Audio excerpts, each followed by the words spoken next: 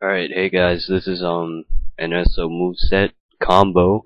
Um we're gonna start out with Mr. Mime with a focus sash, 255 HP max out, and uh, maxed out speed. So yeah, we're gonna go with a substitute, a baton pass, calm mind, and the last move is your choice. So go ahead and wing it, have fun with it. So we're gonna um what you're gonna want to do is go first with a calm mind um, if you have enough time, or if the opponent's setting himself up, you can go with two calm minds, and then a sub, and then the baton pass. Uh, it's all just your choice. And then we're going to switch out into Octillery.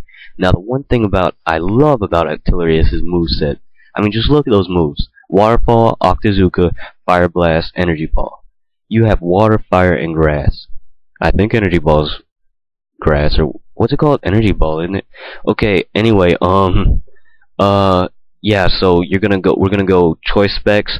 Um, 255 HP like always, and 255 special attack, and that will like just crush anything. That would crush a Latios.